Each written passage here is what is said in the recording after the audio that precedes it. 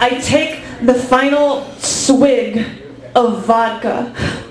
Feel it burn its way down my throat, hiss, and it's scorching my tongue. And reach for that bottle to pour myself another.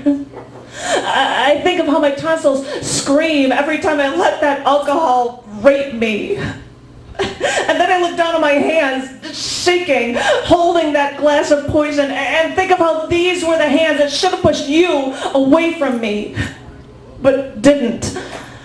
And I keep wondering why I took your hell, took your poison. I let you burn your way through me. You corrupted me from the inside out, and I kept coming back. I let you burn a hole right through me. I hated it. And now I have to rid myself of you.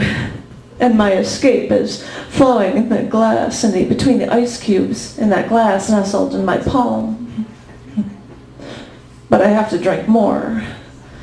The burning doesn't last as long as you do.